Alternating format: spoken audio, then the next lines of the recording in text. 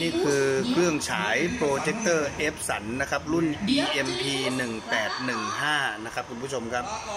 Epson โปรเจคเตอร์ EMP 1815นะครับความสว่าง 3,500 ลูเมนนะครับคุณผู้ชมครับ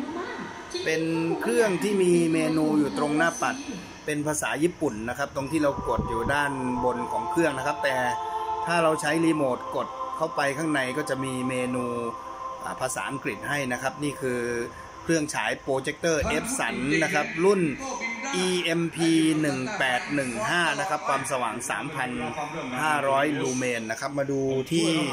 หน้าจอนะครับ ฉายบนกำแพงนะครับ อันนี้อันนี้ฉายบนกำแพงนะครับ บนผนังกำแพงเลย บนกำแพงห้องนะครับ ไม่ได้ใช้จอนะครับคุณผู้ชมครับ นี่ครับ ฉายการ์ตูนนะครับ ปิดไฟฉายจะสว่างขนาดนี้เลยแต่จริง ๆ สู้ไฟได้นะครับ คุณผู้ชมครับฉันไม่นี่ครับสู้ไฟได้นะครับเลย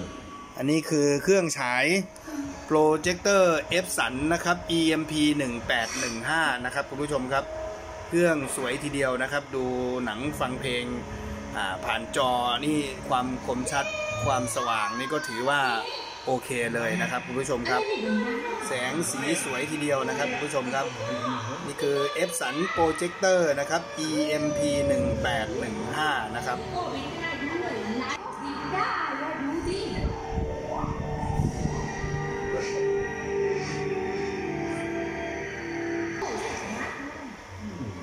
นี่ครูลูกรักของแม่